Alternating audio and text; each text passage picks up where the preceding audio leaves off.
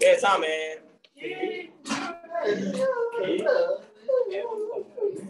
စမယ်နောက်မယ်ဘယ်ပေါ်မှာအော်ကလစ်ဆောင်သူရောက်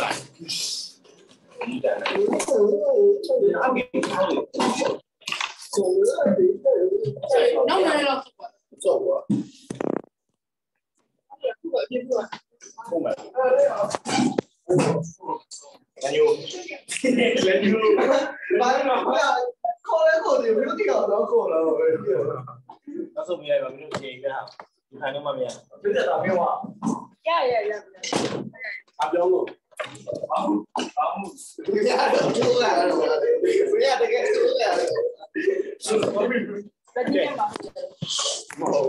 Cuidado. Yes, sir. ဒီဆောင်အေးဒီဆောင်ဒီဆောင်မဟုတ် bro ရောက်တယ်ပေါ့မောင်အဲ့လေစားလေသူ့စားလေသူ့တဲ့တော့လေဘာလို့စားတယ်ဘောဘောဘောဆရာအမ်ကန်ရှာစားတယ်ဘာလို့ရလဲစားတယ်မိမတော့ဆရာအမ်ကန်လာတယ်တော့ online နဲ့တော့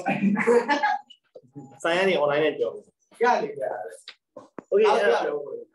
statement of financial position အဲ့ဒါကဘာကြီးလို့အဲ့လိုမသိဘူးအဲ့ဒါမသိရအောင်ဒီရတော့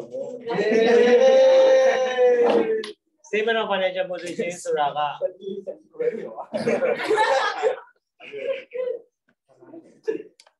IDB တို့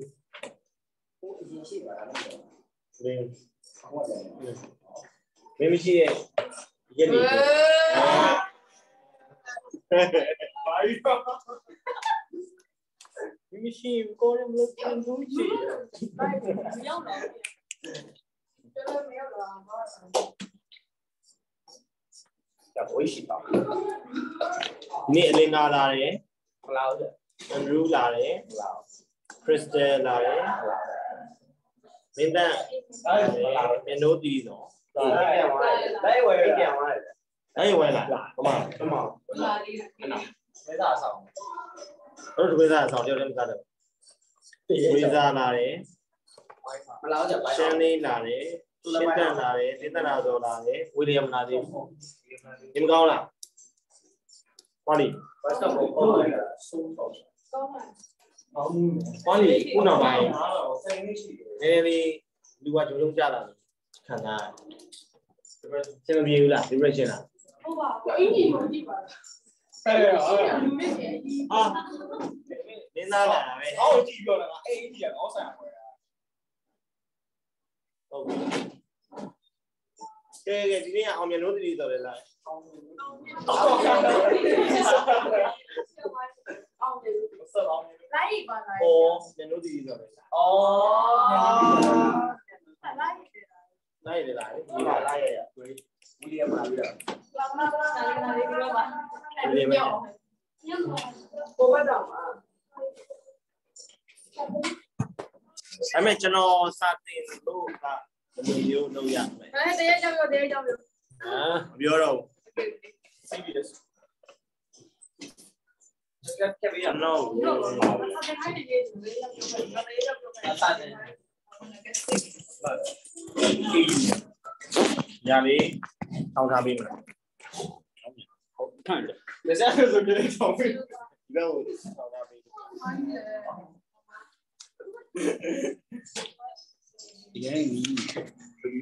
哎呀！哈哈哈哈哈！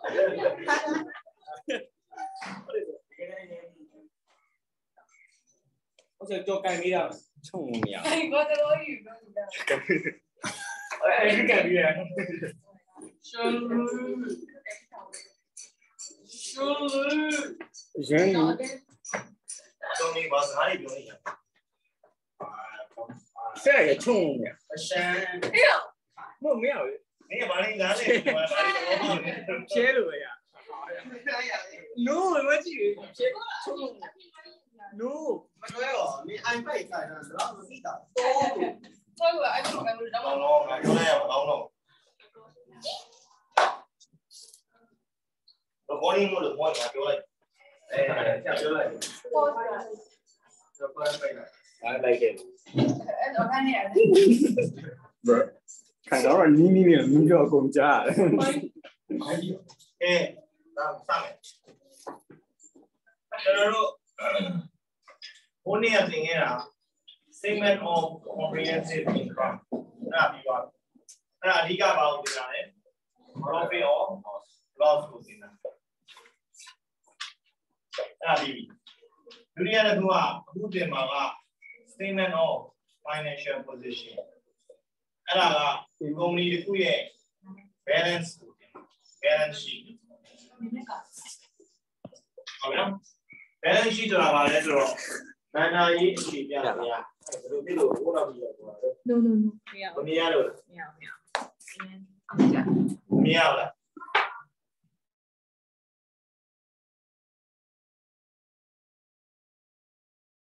ရှာတယ်မမြင်ရဘူးမမြင်ရဘူးဟမ်ညံ့မင်းနိုင်ငံသားစီရနေဒီသူညောင်းတော့ရှင်းမှထားလို့မရဟုတ်ရအဲ့လိုရရရတယ်ခံကဘယ်အဲ့ဒါနေခံတော့အဲ့ဘာလို့ရှိလာပါပြောမယ်ဝီလဲဝီရရှိဘုမာရှင်းတဲ့ရှင်းတဲ့ကဘလောက်ဘိုးဘိုး3သိန်းရတယ်ဆိုရပါတယ်အိုး အဲ3သိန်းရတယ်ဆိုရင်ရှင်းတဲ့ကတနေ့ကိုတစ်တောင်းတစ်တောင်းသုံးဟုတ်နော်ငယ်ချင်းလေးကိုရှောင်းတော့ရွေးတာပဲဖြစ်ဖြစ်လုပ်တယ်ပေါ့ဒီနေ့နည်းတော့တနေ့တစ်တောင်းသုံးတယ်ဆိုတော့ရှင်းတဲ့တနေ့တစ်တောင်းသုံးပြီးတိုင်းမှာလက်ထဲမှာဘယ်လောက်ကျန်တော့အော်ကတောင်ကတိတ်ကိုတော့မသိနေမှာဟုတ်လား နောက်ရကျတော့တစ်တောင်းသုံးတယ်လက်ထဲမှာဘယ်လောက်ကျန်သိရှိတာနောက်နေ့ကျတော့တစ်တောင်းသုံးမယ်လက်ထဲမှာဘယ်လောက်ကျန်ဟုတ်နော်အဲ့တော့ balance sheet ဆိုတာကြီးကကိုယ့်ရဲ့ company မှာရှိနေတဲ့ပတ်စံတွေ resource တွေကိုအသုံးပြုလိုက်ဘယ်လောက်သုံးလိုက်တယ်လဲဘယ်လောက်ကျန်တယ်လဲဟုတ်ပြီနော်အဲ့ဒါမျိုးတွေကိုပေါ်ပြတာ balance sheet လို့ပြောပြအဲ့ဒါကြောင့် banner ရေးအခြေပြစရာလို့ကျွန်တော်ပြော တော့နေ့တစ်နေ့မှာမြက်တယ်ရှုံးတယ်ဆိုတာကအပေါ်အစိမ့်နဲ့ပြောတယ်ကျွန်တော်တို့ ਨੇ ဒီ balance နဲ့မဆိုင်ဘူးဒီ balance sheet ဆိုတာကျွန်တော်တို့ရဲ့လက်ကျန်အိတ်ထဲမှာဘယ်လောက်ရှိတယ်ဆိုတာပေါ်ပြတဲ့ဇာတ်ဒီ balance sheet အဲ့တော့ balance sheet ထဲမှာကျွန်တော်တို့ element ၃ခုပဲတည် element ၃ခုကိုရရင်ရ asset ရယ် liability ရယ် equity ဟွန်း asset ဆိုတာဘာကြီးလဲကားတွေပါ liability ဆိုတာဘာလဲ equity ဆိုတာဘာလဲဒီရရပါ Hello web post point အော်ဟုတ်ကဲ့ပြောပါ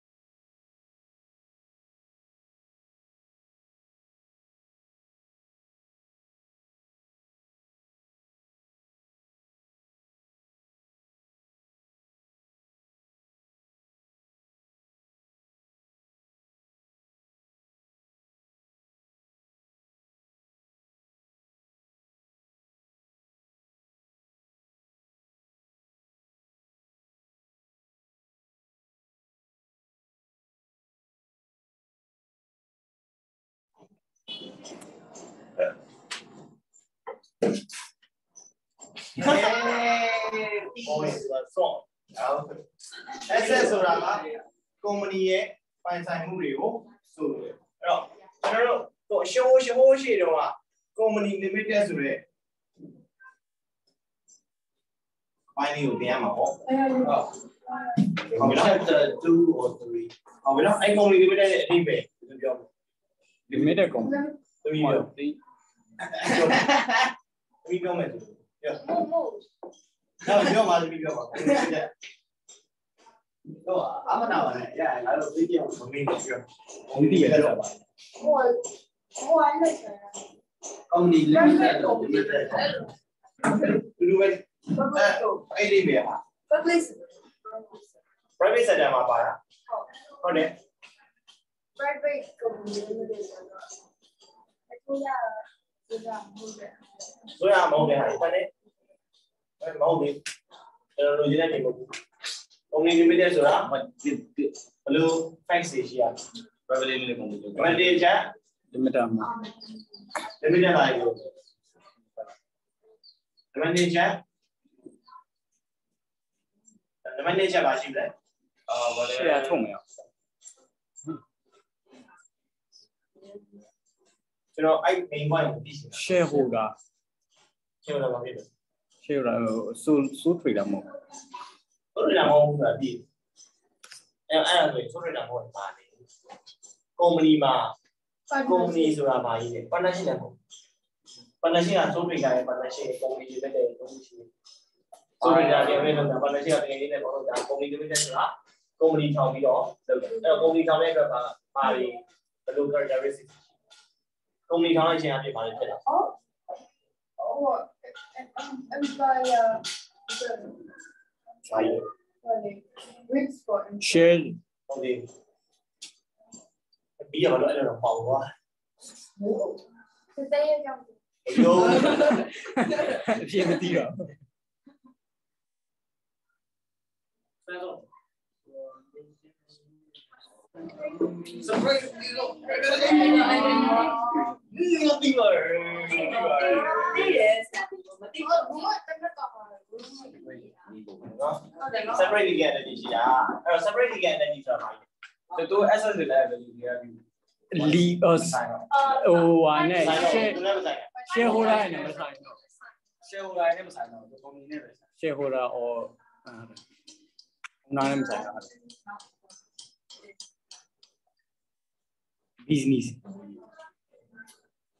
ဟုတ်နော် yes owner နဲ့ business နဲ့မတူဘူး꿰တယ်လို့ကျွန်တော်ပြောလိုက်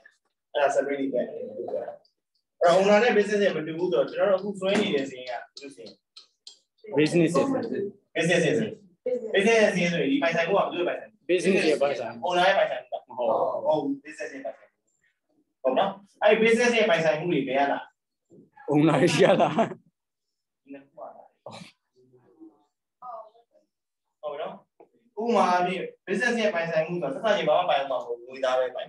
business ကငွေသားသိန်းတစ်ထောင်ချမ်းသာတယ်အဲ့ဒီတစ်ထောင်ဘယ်ရလားငွေချင်းစီက300ရှိတယ် owner တွေက900သိန်းအဲ့ဒီထောင်အဲ့မလားရပါဟုတ်ပြီနော်ဒါမျိုးပေါ့အဲ့ဒါကြောင့်မလို့ asset is equal to liability plus equity လို့ခေါ်တာ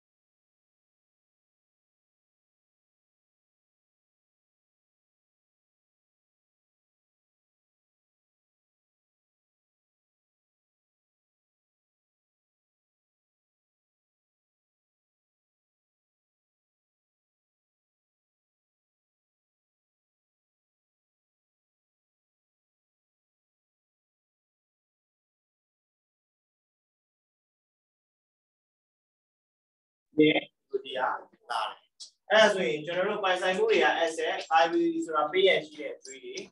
equity ဆိုတာ owner ကထည့်ဝင်ထားတော့ရင်းနှီးတွေ investment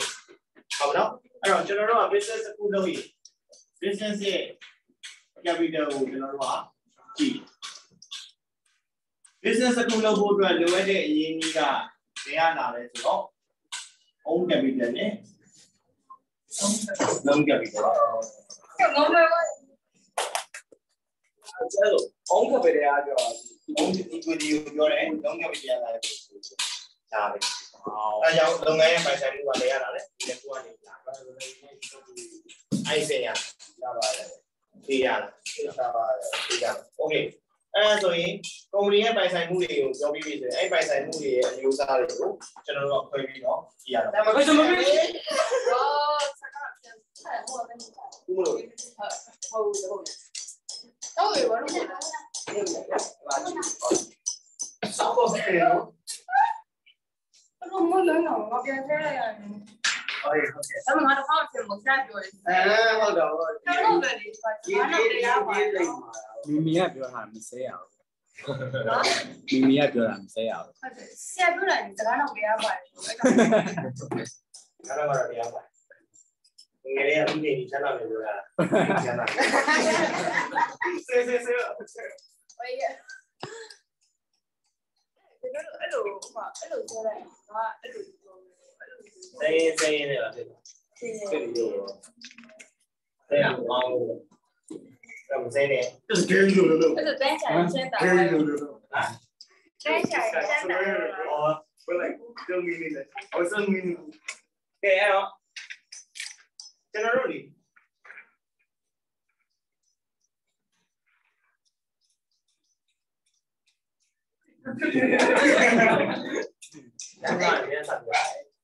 ကျန်တာလည်းရအောင်ပေါ့ပေါ့။ဘာကြောင့်အဲ့နမိတ်တို့ဘာလို့ကျွန်တော်တို့ပြောရလဲ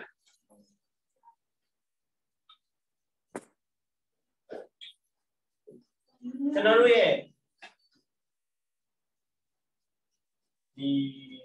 ကဘာကြီးပေါ့နော်ကဘာကြီးကိုကျွန်တော်ပြောပါမယ်အဲ့မှာ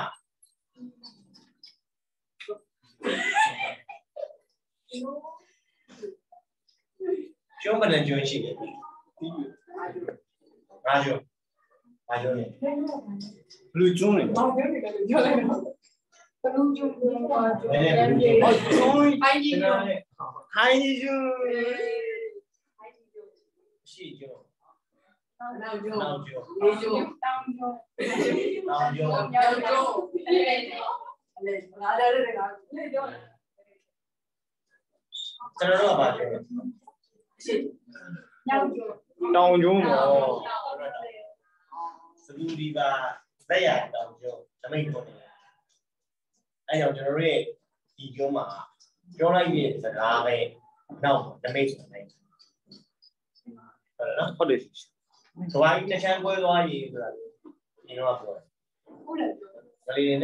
ဘူးစစ်တွေဖြစ်နေ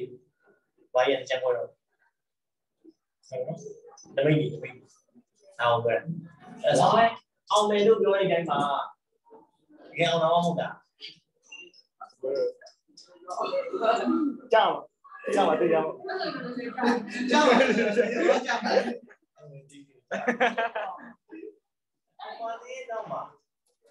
တွေရဲ့ညာစုကဒီတော့ထက်တာထက်တာတကယ်ကိုလေးလေးနဲ့နဲ့စူတောင်းပြရတာကျွန်တော်စဉ်းစား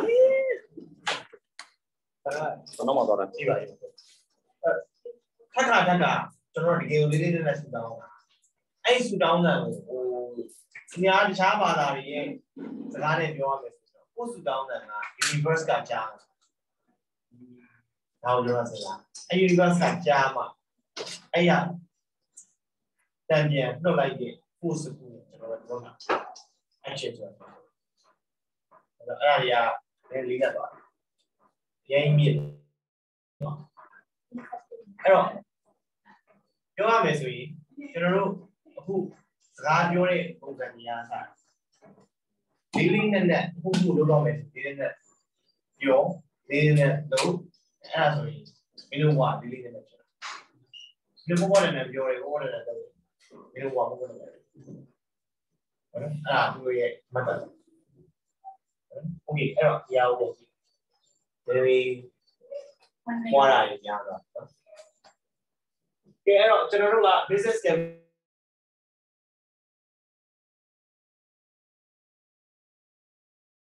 ်တော်အဲ့ဒါကြီးပြန်ချက်လို့ရတယ် ကြော က်မရပါနဲ့ဟောတယ်သူကဖေးကြောက်ဟာ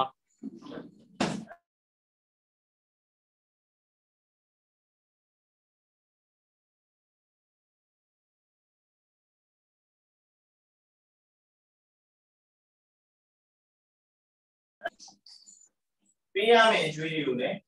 နှမျိုးခွဲအကျွေးရတော့မှတ်ရတာလေရီလိုနဲ့ရီရှိဟုတ်ပြီနော် ရီလို payment တွေကို short term လို့ကျွန်တော်တို့ခေါ်တယ်ရီရှိကိုတော့ long term လို့ခေါ်တယ်ဒါပေမဲ့သူတို့ရဲ့ terminology မှာတော့အဲ့လိုမပြောဘူး short term လိုက်လို့ဒီတော့လည်းလိုက်လို့ပြောခဲ့တယ်အားလည်းပြောတယ် current liability နဲ့ non current liability ကိုပြောရည်ဒီလိုရရှိပါတဲ့သတ်မှတ်ရဲဆိုတော့ within a year ဆိုရင်ဒီလို ဒီလို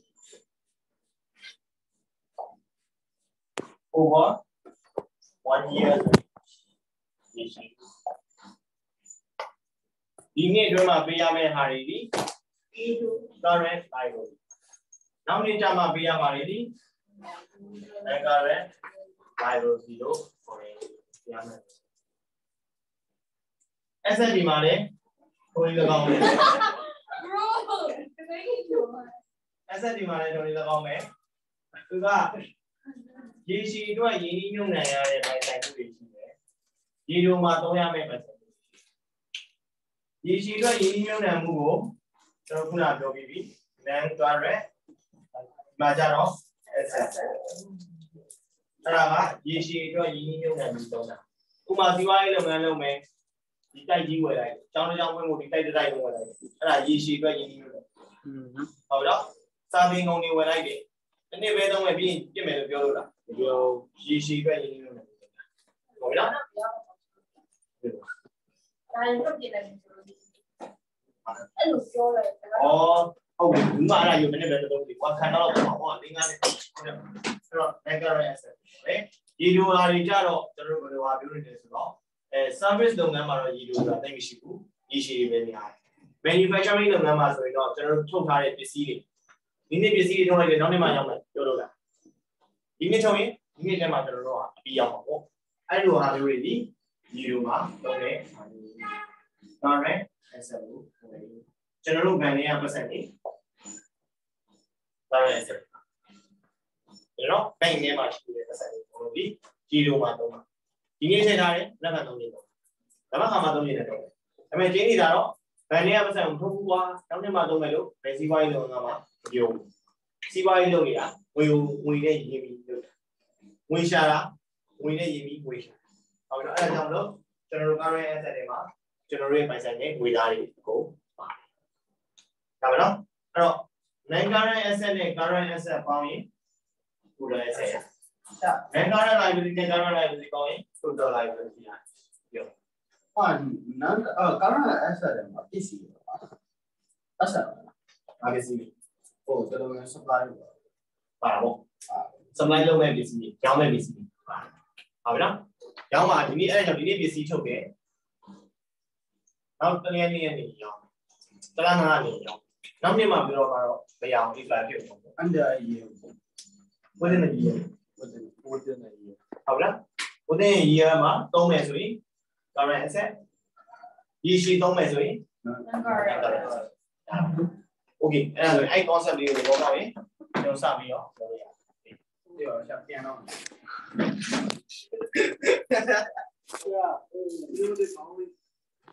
အော်ဒီနည်းနည်းလေးတော့လင်္ကာများတော့မယုံမသိကြရတော့ဒီကနေရပဲမရိုင်းလား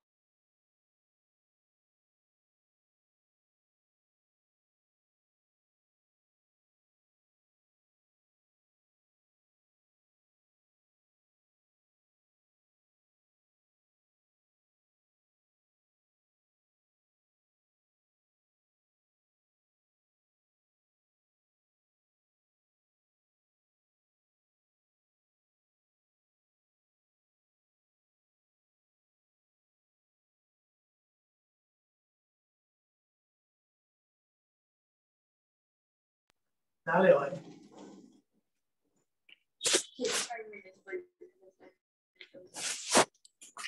Okay အဲ့တော့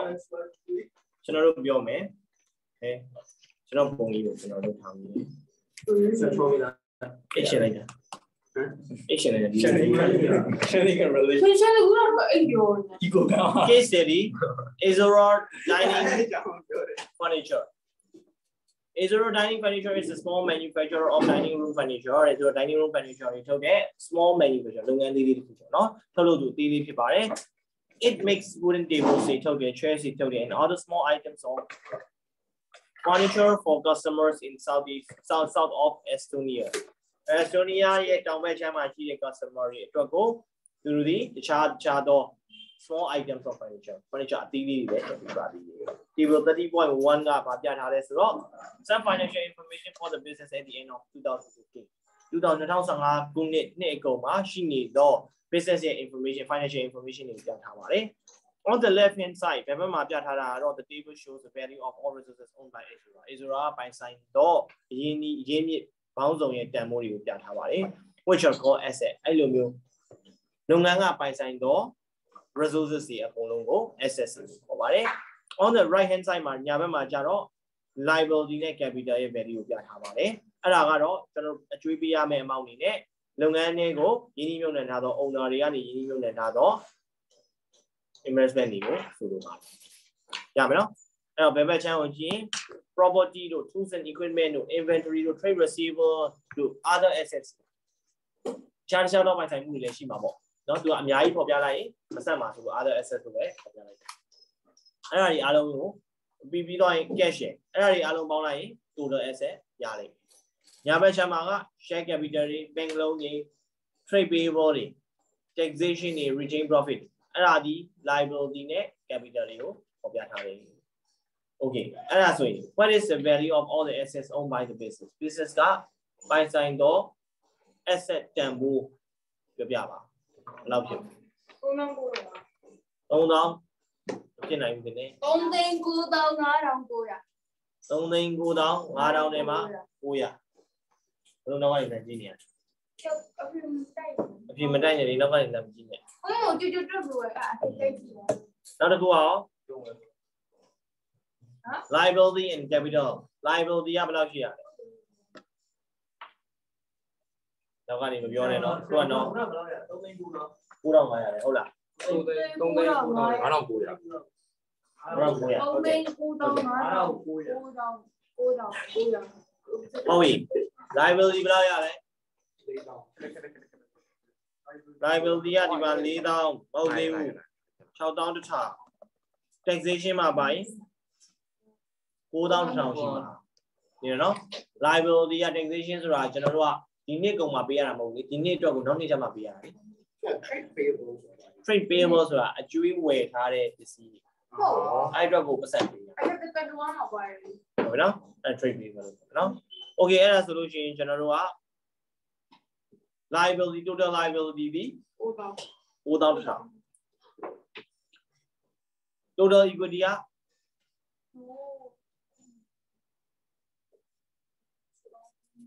3သိန်း 3သိန်း4900 4900 okay very good အဲ့ဒါဆိုရင် what do you notice the amount of value of assets and total amount owned by the business အဲ့တော့ owned by the business ဆို business ကနေပြီးတော့ပြန်ပေးရမယ့်ပတ်စံတွေအားလုံးပြန်ပေးရမယ်ဆိုတာ liability ဆိုတာလည်း business ကပြန်ပေးရမယ်ပတ်စံ equity ဆိုတာလည်း business ကပြန်ပေးရမယ်ပတ်စံ liability ဆိုတာအကျွေးရှင်တွေကိုပြန်ပေးရမှာသူ့မှာ day ကန်သက်ရှိတယ် interest rate တွေရှိတယ် ် ဒါပေမဲ့ equity ဆိုတာကတော့ဘယ်လုပ်ငန်းကြီးပြတ်သုံးမှပဲပြန်ပေးရမယ်အနေအထားမျိုးမှာရှိတယ်သူ့မှာအတူမရှိဘူး day ကန်သက်မရှိဘူးဟုတ်ပြီနော်ဒါမျိုးပေါ်ပါတယ်အဲ့တော့ဒီမှာက business ကပြန်ပေးရင်ရှိတော့ amount နဲ့ကျွန်တော်တို့ business ရဲ့ပိုင်ဆိုင်မှု asset တွေအားလုံးဒီဘာသွားဖြစ်တူနေလားမတူနေဘူးလားပဲရှိပါ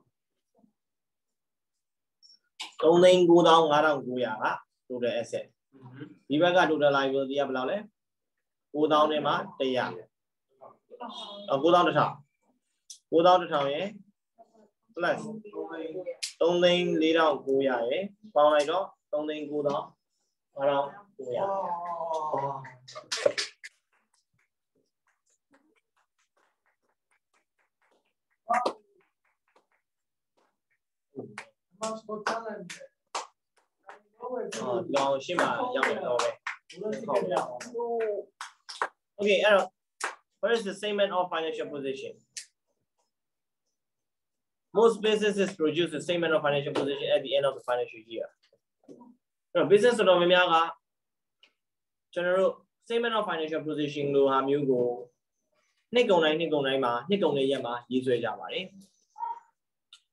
A statement of financial position is like a photograph of a firm's financial position at a particular point in time အဲ့တော့အချိန်တစ်ချိန်မှာရှိနေသောလုပ်ငန်းရဲ့ financial position ကိုပြပေးထားသော statement ကို statement of financial position လို့ခေါ်တယ်အဲ့တော့ပြောချင်တာကတရက်စာပဲပြတယ်လို့ပြောတယ် time period တစ်ခုစာပဲပြတယ်လို့ပြောတယ်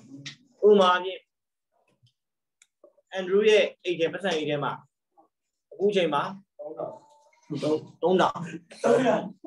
3000ရှိတယ်ဆိုအဲ့ဒါကိုဆိုခဏနေသူအေးတော့တောင်းမယ်ပေါက်စီတော့စားမယ်2000ကုန်သွားတယ်သူ့အိမ်ထဲမှာဘယ်လောက်ကျန်ထောက်အခုချိန်မှာရှိနေတဲ့3000နဲ့နောက်တစ်နာရီလောက်ကြာရင်ရှိမယ့်အမောင်တူသေးလား balance sheet ဆိုတာလေအဲ့လိုဒီနေ့မှာရှိတဲ့အမောင်နဲ့မနေ့ကမှရှိမယ့်အမောင်တူချင်မှတူနေတိုင်းတော့တော့နေတိုင်းတော့တာဆရာကျက်ဒါပေမဲ့နေတိုင်းတော့ရရင်တရားရှိတယ်အဲ့ဒါကြောင့် စည်ရင်းတွေကိုတစ်လတစ်ခါပဲ balance sheet ကိုရေးဆွဲရမယ်ဖြစ်တယ်ဟုတ်နော်တစ်ပတ်တစ်ခါပြီးခဲ့တဲ့လမှာတော့ဘယ်လောက်ဒီဘက်တစ်ခါရေးဆွဲခြင်းလဲစာချိန်ဒီလေးလိုကိုတော့ရင်းပြရမှာအဲ့တော့တရက်တစ်ခါကျတော့အရင်ရေးဆွဲနေရတယ်တရားရှိအဲ့တော့ပုံမှန်အားဖြင့်တော့ normally တစ်လတစ်ခါရေးဆွဲပြီးခဲ့တဲ့လမှာငါ့ရဲ့အိတ်ထဲမှာဘယ်လောက်ကျန်လဲကျွေးတွေဘယ်လောက်ပေးရအောင်ဟုတ်နော်နောက်လာကြရင်ရောအော်ဒီလာကြရင်တော့ငါ့ရဲ့အကျွေးတွေတက်လာတာလားပေးရမှာတွေတက်လာလားဒါပေမဲ့ငါ့ရဲ့ပိုင်ဆိုင်မှုတွေတိုးလာတာငါ့ရဲ့ပတ်ဆိုင်တဲ့အခြေအနေတွေဖြစ်သွားပြီ တစ်လတစ်ခါတော့ check လုပ်တာမျိုးရှိတယ်တရက်စာလို့ကြည့်ပြောဆိုရင်ဒီ boss bank ကအဲ့ company မှာအခက်ဆုံး operation operation marketing ကုမ္ပဏီမှာ development ကအခက်ဆုံးအဲ့လိုမရှိပါအောင်းစားလို့ကုမ္ပဏီနဲ့ဆိုင်တာပေါ့အကုန်လုံးပါဒါပေမဲ့ကိုကောင်းစားမရှိဘူး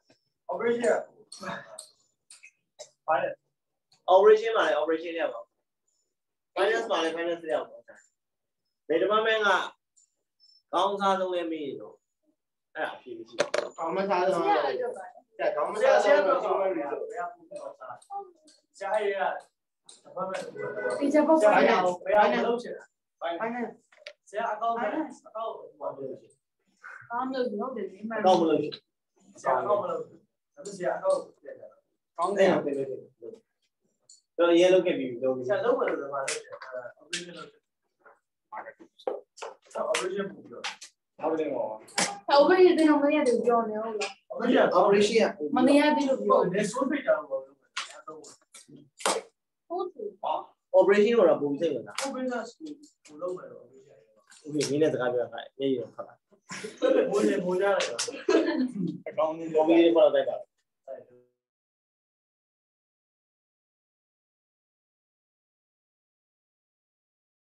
အောက်မှာပုံကြီးတော့အဲ့ဒါလေးကြီးလို့ပြောနေဝယ်ရတ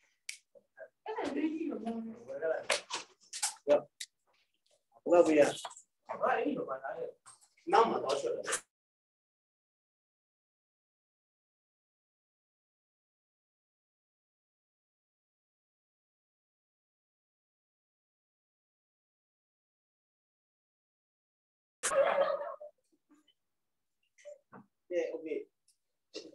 ကောင်မရှိရင်မမြင်နေရ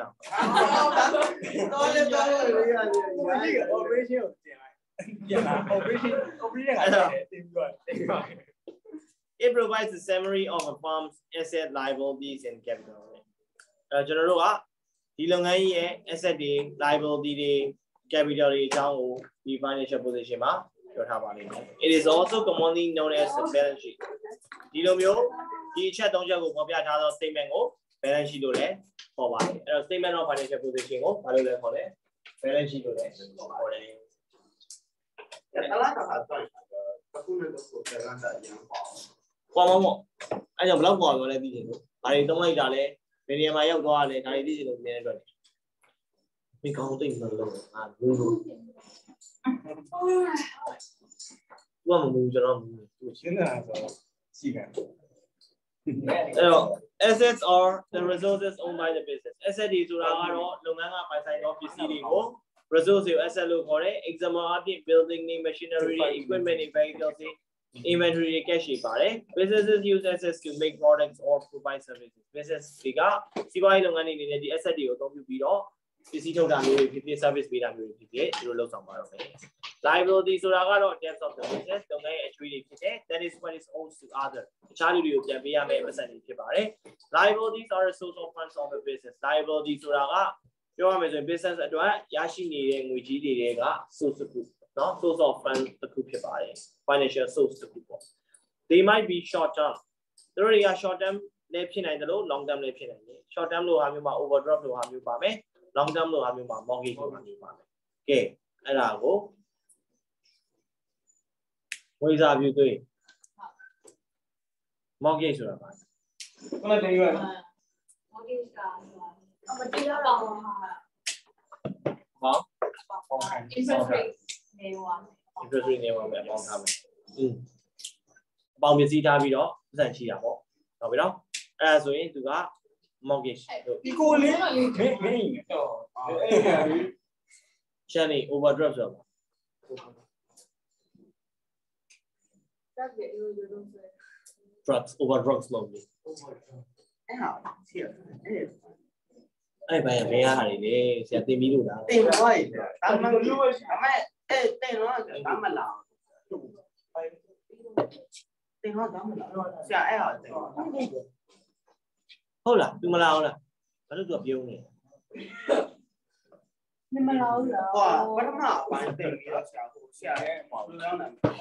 နေနေမလားလားဟောပထမပိုင်းတင်ပြီးတော့ဆရာကိုဆရာရဲ့ဘယ်လိုလဲဒီရှိတွေ့လောက်ပြီတရုပ်ဆိုတော့ဘယ်မှာဘုံအောင်တော့နောက်မှဆရာပထမပိုင်းဟောအာယူစမလို့လုပ်ပြီးတော့ဒါလက်ချက်ဒီပါလဲဆိုပြောရောလာပြောဆရာအဲ့ပိုင်းအဲ့ summary ကိုဟောတော့အကောင့်ကြီးပြန်ရှင်းနေတယ် overdraft ဟောလို့တော့ပါတယ်အဲ့ဒါလေးကတာဒီမှာခုလမ်းပြတော့လမ်းပြတယ်။ဒါပြပါလေဆော့ဆော့ပိုင်းနဲ့တော့ပါအဲ့ရနေတယ်။ မနဲ့ overdraft ဆိုပါဟောကြတာလာဆိုင်ရ။လေးလာတာငါသိပါလေဆန်နေ။ဟုတ်လား။ဘယ်လိုမျိုးလဲပြောပါပါရဟောဟောဆက်ပြောရတို့တို့ဒီနေ့ဒီတော့ကိုဒီလောက်ဝယ်ဆိုရမှာဒါကကြီးလွယ်လို့ရှိရင်ငါကိုကြိုက်တဲ့နေ။ကိုထည့်ထားတဲ့ amount ကကိုသုံးပြီးလိုက်တော့ amount ကြီး bank overdraft ကိုခေါ်ပါတယ်။ Okay အဲ့ဒါဆိုလို့ရှိရင် liability ထဲမှာသူသူက short term နဲ့မှာပါမယ်နော်။ပြီး capital ဆိုတာကကြတော့ is the money put into the business by the owner owner တွေကနေပြီးတော့ business တွေကိုဒီနည်းမျိုးနဲ့မှုထည့်ဝင်ထားတဲ့ပတ်စံတွေအားလုံးကို capital လို့ခေါ်ပါတယ်ဒီ tissue တော့ပြောကြားလိုက်တာကျောင်းခုနက for limited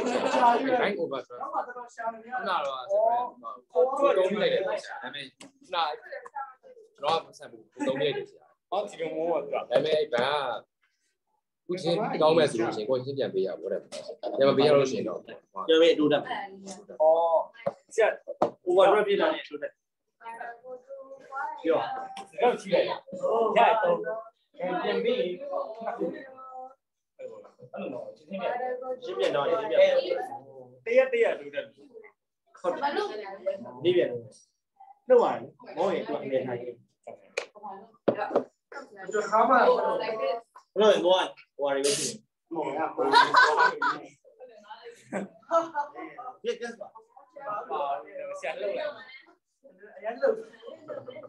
အဲ့လိုဆရာထိတ်လို့ဆရာအရင်လောက်ဒီလိုအရင်အိတ်ကြိုက်တဲ့ဖြစ်သွားမသားလေးလို့ဘာလို့လို့လို့ဒီမလို့ တောင်းဝင်နာကုန်ပဲဒီမှာတော့တော့တော့ဒီဘာလိုလို့ပေါင်းနေရဟုတ်တယ်တော့အပါဘူးရဒီလိုမောင်းနေပြောအဲ့တော့ဘေးနားမှာဘယ်ဘက်ဘေးနားမှာ subject vocabulary ကိုကြည့်ပါ statement of financial position ဆိုတာ summary at a point in time of business assets liability and capital often called balance sheet အဲ့တော့အချိန်တိုင်းတာကာလတစ်ခုမှာဟုတ်ပြီ နော်နေ့ရက်တစ်ရက်စာပေါ့နော်ဒီဟာကိုကျွန်တော်တို့အဲ့ဒီမှာရှိတော့ business ရဲ့ asset တွေ liability capital တွေရဲ့ balance ကိုခေါ်ပြတာပြီအဲ့ဒါ statement of financial position ကိုခေါ်ပါတယ် balance sheet ကိုလည်းခေါ်ပါတယ်အဲ့လို funny to the point အဲ့ဆက်လာတော့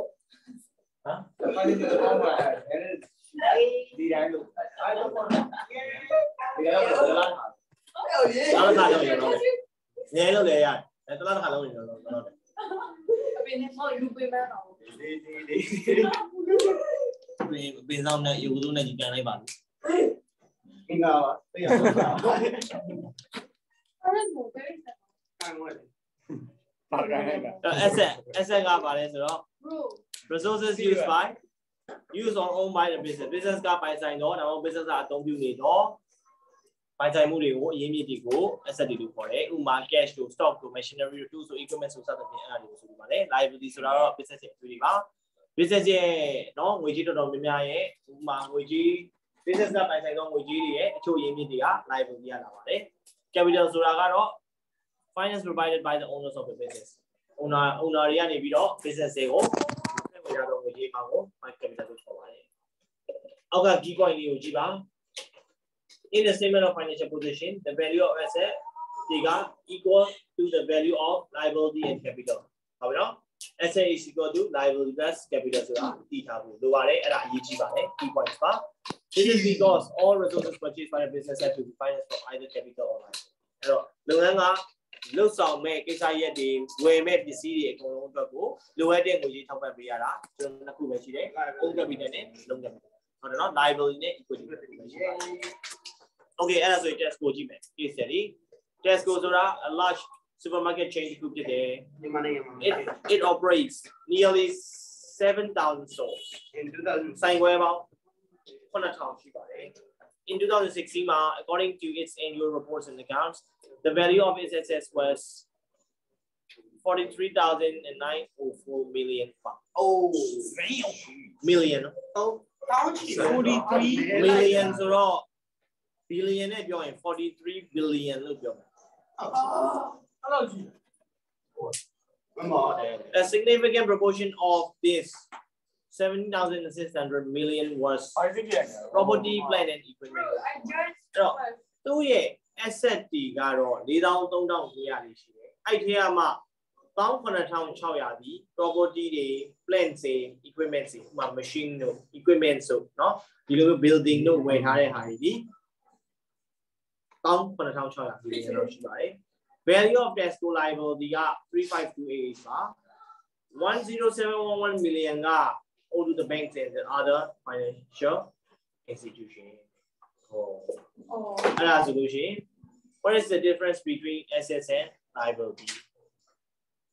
ပြောအော်အေးမေးရမှာပေါ့ Kristen I'm sorry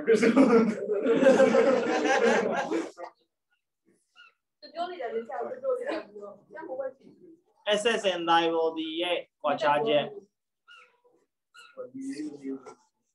ဘယ်လောက်ဖြစ်မလဲ 没有人没有 what is the difference between assets and liability 哦 use example from this case study 会是 no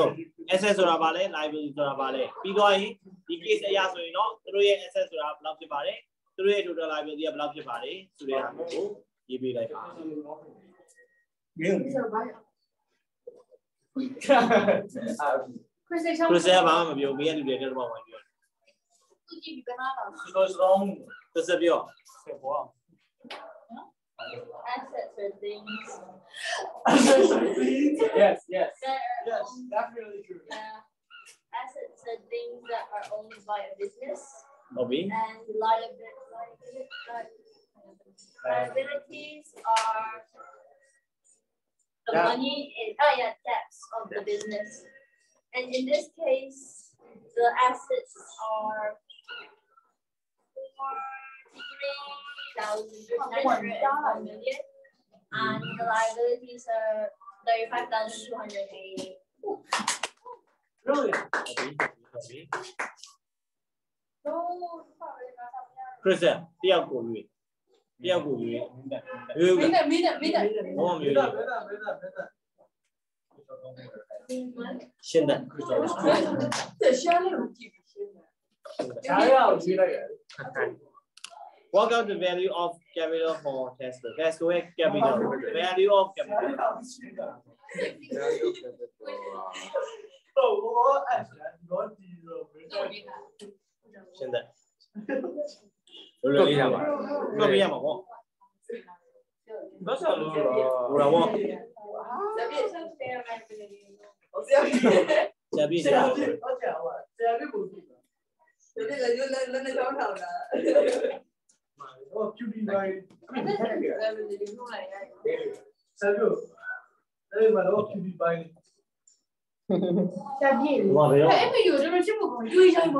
Individual. Sangonir individual. Yo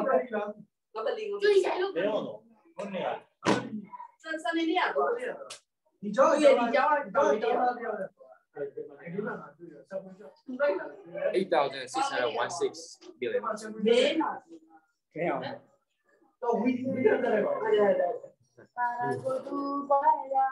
How we? Bajang. Bajang, I look like. 了解。 ဘာကြောင့်အဲ့လိုတွက်လိုက်တာ use of capital ဆို value of capital အဲ့တော့ဘာကြောင့် asset ရဲ့ liability ဘာကြောင့်ထုတ်လိုက်လဲအာ asset ဘာမှမလုပ်လာလဲဆိုရောက်နေစားဒါပေမဲ့ use of capital ဒီ that's where the capital ဖြစ်နေတယ်ဆိုတော့သူရဲ့ business by ရဲ့သူတို့ရဲ့ asset တွေလည်းလာတော့ဒီလောက်မှသိပါလိမ့်မယ် according to my way yeah point assets point according to equation ဟမ် equation ရဟုတ်တယ်မလား yes asset is equal to liability plus capital နော် capital လို့ကျွန်တော် asset တွေက liability ပေါ့ဟုတ်ပြီနော် ဆရာအဲ့ဆိုတော့ according to the equation ဆရာကအဲ့လို107 11တော့ဒီထဲအမောင်းကဒီထဲကနေ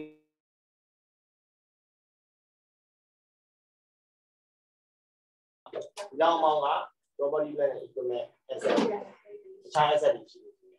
You go on live, you go on to the live, you have to I do the live, you have to mama, you love you. And then, current live. Are we done? Okay. I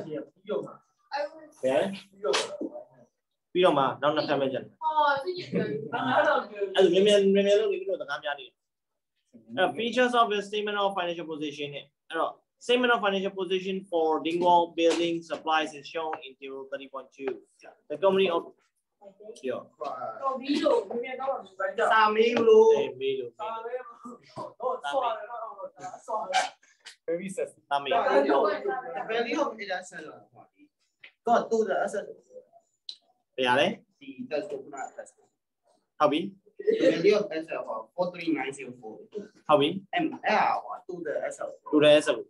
ဟော43904 ဟုတ်ပြီ em အဲ့ဟာဟောတူတဲ့ asset total asset ကို အာ ဟုတ်နော်အဲ့ total asset ထဲမှာမှ16700က property plant and equipment ဝယ်ထားတယ် အဲ့ဒါ43904ရဲ့ပါ part part ဟုတ်ပြီဟုတ်ပြီနော် okay အဲ့တော့အောက်မှာ the company operates a large store with some builders and other traders in the construction industry နဲ့အဲ့တော့ Dinghall building ကနေပြီးတော့အောက်မှာကျွန်တော်တို့ supply လုပ်ထားတဲ့ဟာတွေအောက်မှာရေးထားပါတယ်သူတို့တွေဒီဘယ်သူတွေကို operate service ပေးတာလဲဆိုတော့ builders တွေ traders တွေเนาะ construction industry မှာရှိနေသောသူတွေကိုသူတို့ဒီ operation operate လုပ်ပေးပါတယ် they the presentation of these statements may vary between different business အဲ့တော့ကျွန်တော်တို့ဒီ statement တွေဒီ company တစ်ခုနဲ့တစ်ခုလုပ်ငန်းတစ်ခုနဲ့တစ်ခုကြားမှာကွာခြားမှုရှိပါလိမ့်မယ်ဒီမှာမဟုတ်ပါဘူး For example, the statement of limited companies are slightly different to those of say sole sole traders. Sole trader တွေဆွဲတဲ့ balance sheet နဲ့ company တွေဆွဲတဲ့ balance sheet တူချင်မှတူမယ်။နည်းနည်းလေးတော့ကွာခြားမှုရှိပါလိမ့်မယ်။ The details likely to be found in the statement of financial position are outlined below. ဘယ်တော့ statement of financial position မှာဘာတွေပါရမလဲဆိုတော့အောက်မှာဖော်ပြထားပါတယ်။ Emerging chat non current asset အခုနကကျွန်တော်ပြောပြီးပြီ။ဘယ်ဘက်က vocabulary ကိုဖတ်ကြည့် assets that last for more than 1 year တနေ့ချက်ပို့ပြီးတော့အသုံးခံမဲ့အသုံးပြုမဲ့ပစ္စည်းတွေအကုန်လုံးကို non current asset လို့ခေါ်ပါတယ်။အဲ့တော့ non current asset ညာဘက်မှာပြန်ဖတ်မယ် Details of the firm's non-current assets are given at the top of the statements of financial position. Financial position ရဲ့ထိပ်ဆုံးမှာ non-current assets ဆိုတာကိုပြထားတတ်ပါတယ်။ non-current assets are those that last for more than 1 year. တနေ့ထပ်ပို့ပြီးတော့ခံတဲ့အသုံးပြုမဲ့ပစ္စည်းတွေကိုပိုင်ဆိုင်မှုတွေကို non-current asset လို့ခေါ်တယ်။ They are the most productive resources of a business. သူတို့တွေဒီ productive အဖြစ်ဆုံး resource တွေဖြစ်တယ်။ဘာဖြစ်လို့လဲဆိုတော့ဒီပစ္စည်းတွေကိုအသုံးပြုပြီးတော့ကျွန်တော်တို့လုပ်ငန်းလုပ်ဆောင်မှာဖြစ်လို့ဟုတ်ပြီနော် operate လုပ်ရမှာဖြစ်တဲ့အတွက်ဒီပစ္စည်းတွေက productive resource တွေလို့ပြောလို့ရပါတယ်။ Dingwall Building Supplies has two main and current asset. Dingwall Building မှာအဓိက current asset နှစ်ခုရှိပါတယ်။ property နဲ့ fixtures and fittings ဆိုပြီးတော့နှစ်ခုရှိပါတယ်။ fixtures and fittings မှာဘာတွေပါလဲ doors တကားတွေ windows တွေပြီးရင် flooring တွေအဲ့ဒါတွေပါပါလိမ့်မယ် The total value of these non-current assets at 31st December 2015 was 440,000 ပြောတာ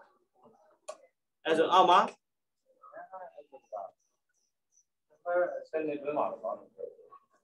နန်ကာရန်အက်ဆက်က440 more than 1 year ဥမာရာတော့ဒါဒါကရန်အက်ဆက်ပေါ့ yeah more than 1 year ဒါကတစ်နှစ်ပဲတော့မှာဟုတ်တစ်နှစ်တော့မှာတော့ရတော့တော့ရတော့၄-၅-၆နှစ်တော့မှာတော့ရှိုးလိုက်တော့အော် တစ်နှစ်တက်ပုံနေ non current အဓိပ္ပာယ်မှာလေ current asset ဟောတစ်နှစ်အတွင်းမှာအသုံးပြုမဲ့ဟာတွေဒီဘုံလုံးကအဲ current asset တစ်နှစ်တက်ပို့ပြီးတော့အသုံးပြုမဲ့ဟာတွေက non current အဲ့ဆိုဟိုဟာလေးဟိုတော့မယ် capital မှာပေါ့အောင်ပါဟို capital ကတချို့ capital ရဟိုအော်ဘောဆက်ချွတ်မြန်မာရောက်ပြီဒီသားကိုဆဲနေတာမကောက်မိန်းမယူရင်ဟုတ်ကြောင်းကြောင်းတော့ဒါကလည်းဘာလို့ဝမ်းဒါပေမဲ့ Mister media, Mister media, eh kau macam mana bujang? Ia ni mah, Brazil pada musim, jogi pada musim, eh, jadi, hah? Okey, pada musim, ayat, pada. All capital. Capital ဆိုတော့ capital ဆိုတာ financial နဲ့တူပဲနော် Non labor capital enterprise enterprise ဒါမျိုးရှိ All right အဲ့ဒီမှာ land ဆိုတာလေ non current asset စမင်းရတယ် financial resource ရတယ် non current asset အာ sorry current asset ဟုတ်နော်ချေ finance ဆိုတော့ non current asset တော့သုံးပါတနေ့တွင်းမှာသုံးပါဟုတ်လားတနေ့တွင်းမှာအများကြီးပြောင်းလဲဖြစ်နေပါ သုံးနေမှာတက်လိုက်ကြလိုက်ဝင်လာလိုက်ထွက်သွားလိုက်ဝင်လာလိုက်ထွက်သွားလိုက်ဖြစ်နေမှာဖြစ်နေတယ် current asset stop security ဖြစ်သွားတယ်ဆိုတော့ enterprise enterprise ရဲ့ labor ရဲ့ကဘာနဲ့သက်ဆိုင်လူတွေနဲ့သက်ဆိုင် human resource current အဲ human resource က current မှာလည်းမပါဘူး non current မှာလည်းမပါဘူး human resource human resource ဟုတ်တယ်သူတို့တနည်းနဲ့ပို့ပြီးတော့သူတို့ဒီအသက်ရှင်မမယ်လို့လည်းပြောလို့ရအမမခံဘူး ဟုတ်တော့သူတို့ဒီသူတို့ဒီဒီနေ့ရောင်းလာပြီမဲ့ဒီမှာချောရင်ချောတော့ နောက်နေ့ဒီနေ့ ပြောတာအာဝါတိုင်းတော့တော့ယူလို့ နောက်နေ့မှာ ဒီနေ့မှာ single ဖြစ်နေပြီမဲ့မနက်ဖြန်မှာအပိတ်ဖြစ်ဖြစ်မယ် ချက်ပြောင်းချက်ပြောင်းမြန် โอเคအဲကြောင့် human resource ကိုဘယ်တော့မှ asset တွေထည့်လို့မရဘူးမိမယူရင်လည်းအဲ့တိုင်းပဲ asset တွေဘယ်တော့မှမဖြစ်မိမကိုဘယ်နဲ့ထည့်ရမလဲသိလား Oh. nice save. Nice. မင်းကယူလိုက်တယ်ဆိုရင်ဒီလိုမျိုး accounting figure တွေရကျွန်တော်ပေါ်ခြင်းတယ်ဆိုရင်သူ့ expense တွေ။ဘယ်ဘယ်တော့လဲ။ဘယ်မနေပါ။ငါတော့နေတာပါ။အဲငါတော့နေတာပါ။ ဘာကြလဲပတ်သက်လူတွေကအဲအဲမိမလည်းပတ်သက်ကြတယ်မိမလည်းရှိပါတယ်အများကြီးဒါပေမဲ့သူတို့ကသူ့ပတ်သက်နဲ့သူသိနေကိုပတ်သက်နဲ့သူသိနေဟုတ်ကဲ့အဲ့ဒါအဲ့ဒါမင်းပတ်ဆိုင်ရှာမိမရှာတယ်ပေါ့ပြင်မင်းအိမ်မှာအိမ်မှုတော့ရတယ်ရတယ်အဲ့ဒါလေးငါပူတော့အဲ့တချို့တွေကပြောကြတယ်ဗါလဲဆိုတော့အာမိမချမိန်ငါကိုစားတယ်ပေါ့ အဲ့တော့မိမချမိန်နာကိုစားတယ်ဆိုတော့နမေတာဆိုတာတဲ့နေလို့ကောင်းလိုက်တာအဲဒါတချို့တွေကပြောကြတယ်ဒါပေမဲ့မထင်နဲ့တော့အဲ့လိုယောက်ျားလေးတယောက်ကအမြဲတမ်းသိငယ်သိငယ်အရင်သိငယ်လေးရှိတယ်မိမတယောက်ကကိုယ့်ရဲ့ချက်ကိုပို့ပြီးတော့ရှာနိုင်တယ်တွတ်တယ်ထက်မြက်နေတယ်ဆိုလို့ရှိရင်အဲ့ယောက်ျားလေးကအလိုလိုသိငယ်အဲ့မိမကိုမကြည့်တော့ဘူးอืม ကျန်ဒီမနေ့ကဘယ်အောင်လဲဒီကကျူးဟုတ်ကဲ့မနာလို့ဖြစ်တယ်ပဲပြောရမှာမနာလို့ဆောက်ပြီးတဝဲလို့သူ့တော့ကိုကမတော်လို့မနာလို့ဒါလို့ဖြစ်တာဟုတ်လားမနာလို့အကြ suicide ကြလို့ပြောတယ်ကြတယ်ပိုရှာအဲ့လိုပြောလာတော့အဲ့လိုမြန်မာနိုင်ငံမှာမြန်မာနိုင်ငံမှာအဲ့ဒီ discrimination အကြီးရှိတယ်နော်ယောက်ျားနဲ့မိန်းမခွဲခြားချက်အများဟိုခွဲခြားချက်တွေအများကြီးရှိတယ်နော် discriminate လုပ်တာအများကြီးရှိတယ်အဲ့တော့ယောက်ျားလေးတွေကဘာဖြစ်လဲဆိုမိန်းကလေးတော်တော်လေးသိမလား အရန်မနာဘူးအရန်မနာဘူးဟုတ်တယ်ငါဆိုခုလောက်ဟိုမှာအဲ့ဒါကြောင့်မြန်မာနိုင်ငံမှာဆိုယောက်ျားဝါဒမိန်းမဝါဒထုံးကားတယ်ဒါလည်းဆိုရင်နောက်ဆုံးကဖျားသွားတယ်မင်္ဂလိများမိမမဝင်ရမင်္ဂလိမဝင်ရအမျိုးသမီးများမဝင်ရမတက်ရ what's the point ဟုတ်တယ်နော် not very ဟုတ်တယ်မလားအဲ့တော့မနေ့သူတို့ပြောနေတဲ့ gender equality ဆိုတာပဲရောက်သွားမြန်မာနိုင်ငံမှာအဲ့ကွာချက်ချက်အများကြီး အဲ့တော့မြန်မာနိုင်ငံတနိုင်ငံလေးရှိနေရဟုတ်ဂျပန်မှာလည်းရှိဂျပန်မှာလည်းရှိဂျပန်ပြန်မှာဂျပန်ဘုရားကိုပြောနေရတယ်ဂျပန်လူမျိုးစုတွေမှာလည်းဂျပန်လူမျိုးစုတွေမှာလည်းယောက်ျားမိန်းမဆိုဖျားချက်အရင်ကြီးအဲကြောင့်တချို့ culture တွေကလုံးဝပြင်မရဘူးပြုတ်မှလည်းဟင်နေရာတစ်ခုခုသွားရင်ယောက်ျားလေးရဲ့ရှေ့ရသွားတယ်ဥဆောင်ပြီးသွားတယ်အမျိုးသမီးရဲ့နောက်ကနေပတ်ဖို့ပြရ ဒါပဲအမျိုးသမီးဒီနောက်ကနေပဲလဲအမျိုးသားရဲ့နောက်ကနေမိမယားနှစ်ယောက်သွားတယ်ယောက်ျားလေးယောက်ျားရှေ့ရပဲသွားတယ်မိမသူ့နောက်ကပဲမိမကျော်သွားတယ်ခိုင်းတယ်လို့ဒါတရုပ်ပဲရောက်ဒီဘက်ခင်မှာတော့တူတူသွားတာတွေလက်ခံတာဒါပေမဲ့ရှေးရိုးဆွဲတွေရှိနေသေးတယ်အဲ့ဒါကိုဗျာကာချာတိတ်ပြင်လို့မရသေးဘူးဆိုတော့တရုတ်မှာဆိုလည်းရှိတယ်ယောက်ျားလေးမှမြက်တယ်တရုတ်ကပူချဲတယ်อืมတရုတ်ကဆောင်ရတရုတ်ကဒီလိုတော့ပူကြတာအိန္ဒိယမှာလည်းတစ်ချိန်တော့လိုက်ဒီဘက်တော့ပူချဲတယ်အဲ့ဒီမှာကလေးမွေးရတော့ မင်းကလေးမွေးရင်ဒီမပြေဘူးယောက်ျားလေးမွေးမှာတရုတ်ကလက်ခံတယ်ပြည်ပြည်对，အိန္ဒိယမှာဆိုတော့ပိုးရင်တော့တော်တော်1800ခဏလောက်ပဲမင်္ဂလိမှုမရှိဘူးဒီလိုပဲအဲ့တော့အမေကလေးမိုးလို့မိုးရတယ်မိမအောင်မရှိဘူးတော့အမေမတော့မိချိုတက်တယ်ကလေးရတယ်မိုးရတယ်မရှိဘူးအဲ့ဒါမင်းကလေးဘယ်လိုကျန်တော့မဟုတ်မင်းကလေးမကျန်ယောက်ျားလေးတွေဘယ်လိုလုပ်နေမှာတော့ မသိဘူးဒါပေမဲ့တော့လောက်တာအေးလေမင်းကလေးတွေရှိတယ်အဲ့ဒီရတဲ့ကလေးမိုးရတယ်အဲ့ဒီပြဿနာဖြစ်တယ်တရုတ်မှာအဲ့ဒီပြဿနာဖြစ်တယ်မင်းကလေးမွေးရင်သူကဖျက်ချဖြစ်မင်းကလေးဆိုဖျက်ချဖြစ်ယောက်ျားလေးမွေးတာကိုပဲသူတို့နေနေတာအဲ့ဒါမှသူတို့မြင့်နေလို့ပြောချာအဲ့ဒီအတွက်တရုတ်ပြည်မှာမင်းကလေးရှားတာမင်းကလေးရှားတာတော့ဘယ်သူတွေစီကပြန်ပြီးတော့ဝယ်ရတယ်မြန်မာနိုင်ငံကဝယ်တယ်မိမဝယ်တယ်မလီ မျိုးသမီးတွေကိုတရုတ်တွေမလီဝယ်ပြီးတော့လက်ထပ်သွားတယ်ကြားပြီအောက်ကိုရောက်ကိုရတော့တော့ကြီးလာတဲ့ဒီမှာတရုတ်မှာမှာခဲ့သူကြီးလာလို့တော့ဒါပေမဲ့တရားလို့ယူဝယ်ကြတယ်အအများကြီးတရုတ်တွေကအများကြီးပဲအဲကျွန်တော်တို့ဘာသာမှာမရဘူးလို့ရတယ်ဒီကဘုရားဘာသာမှာမရတရုတ်ပဲမဟုတ်အဲ့တော့တရုတ်တရားပဲအရောက်တဲ့ထောက်ဒီရောက်ဆောင်းရရကိုကျွေးနိုင်ကျွေးနေတယ်တော့ ဩဆက်ပေးဖို့ပေါ့ဒါပေမဲ့ကျွန်တော်တို့ရဲ့နိုင်ငံရဲ့ဥပဒေရတော့တနေ့တည်းဒါလေးလည်းများပဲကျွန်တော်တို့ရဲ့ဗုဒ္ဓဘာသာမှာသူများသားမယားကိုပြမမပြစ်မှာရဒါပေမဲ့တောင်းဝင်ယူလို့ရအပြစ်မှပြတော့ပြမပြီးတော့နော်လေကိုတောင်းဝင်ယူလိုက်တယ်ပေါ့ကိုတောင်းဝင်ကိုယူလဲဆိုရင်ဒါဆိုရင်အဲဖဲလေးမြန်မာနိုင်ငံရဲ့တာဝန်ကြီးဗုဒ္ဓဘာသာဗုဒ္ဓဘာသာမှာပြောတာနော်ဗုဒ္ဓဘာသာမှာဆိုလို့ရှိရင် တူနူနူနူတောင်းဝင်ယူတယ်နော်ကျွေးနိုင်လားယူလို့ရဒါပေမဲ့တချို့ဘာသာတွေမှာ၄ယောက်လားဒီလိုရဟုတ်တယ်မဟုတ်ဘူး၄ယောက်၄ယောက်ရောက်ပြီအဲ့တော့ဒီနိုင်ငံကတော့နိုင်ငံရဲ့ law က law ပဲသူတို့ဥပဒေကသူသူတို့ရဲ့ဘာသာရေးတာနိုင်ငံရဲ့ law ပဲလိုက်တာသူတို့သူကြည့်ပြီးပဲရှားမိမရတယ်ကြည့်ပြီးဆိုလို့ရှိရင်အမှန်မဟုတ်ဘူးအမှန် တဲ့ဒါမှမဟုတ်လက်မှတ်ထိုးရတရုတ်ပါကြာကျန်တဲ့လူကအဲ့ဒီအောင်မင်းမသိဘူးအော်ဆိုဘယ်သူနဲ့မှလည်းမဟုတ်နှစ်စိတ်ချိုးအဲ့ဘူးဒီနဲ့မှလည်းမဟုတ်ဘူးရှင်းရတယ်မဟုတ်ဘူးမသိဘူးဘာလို့လဲတချို့တွေကလက်မှတ်မထိုးပဲယူတာကြရင်ညာရှိကဲထားပါတော့ငါအဆက်တွေပြောနေတယ်ဘယ်လိုလုပ်ရောက်ကဲလာလာဆက်ပြောမယ်ဆက်ပြောမယ်အဲ့ဆက်အဲ့ဆက်အေးလေးဆက်လာလာလာဆက်ကြည့်ဆက်ကြည့်အဲ့တော့အောက်မှာ statement တစ်စောင်ပေးထားတယ် non current asset ဆိုပြီးတော့ property ရဲ့ fixture and trading ရဲ့နှစ်ခုပေါင်းလိုက်ရင်440ရှိတယ် current asset ထဲမှာ inventory ရဲ့ trade receivable trade receivable ဆိုတာကျွန်တော်တို့အကျွေးနဲ့ရောင်းထားတဲ့ပစ္စည်းတွေ customer တွေကိုအကျွေးနဲ့ရောင်းလိုက်တဲ့အတွက် customer တွေစီကနေပြီးတော့အကျွေးရစရာရှိတာတွေကို trade receivable လို့ခေါ်တယ်ဟမ်ဥပမာကျွန်တော်ကနေပြီးတော့မင်းတန်းကိုဒီပစ္စည်းလေးအကျွေးနဲ့ရောင်းလိုက်တယ်ရော့ယူတော့တစ်ထောင်ပဲပေး